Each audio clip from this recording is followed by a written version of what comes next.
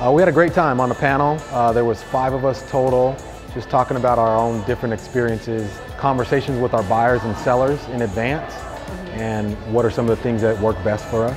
I think as buyers agents and listing agents, we also have to understand does the does the offer pass the smell test? You know, if you're going to take an offer that's extremely higher than uh, list price or what you guys think may be market value, you better make sure you have done your research to say, okay, is the appraiser going to have some comps to support this number? And if they don't, then that may give you pause on accepting an appraisal. Okay, another quotable quote. Did everybody catch it? Does it pass the smell test?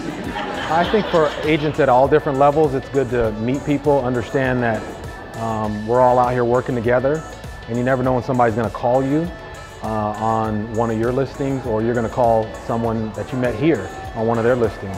So it's always good to network that way and get an opportunity to meet different people.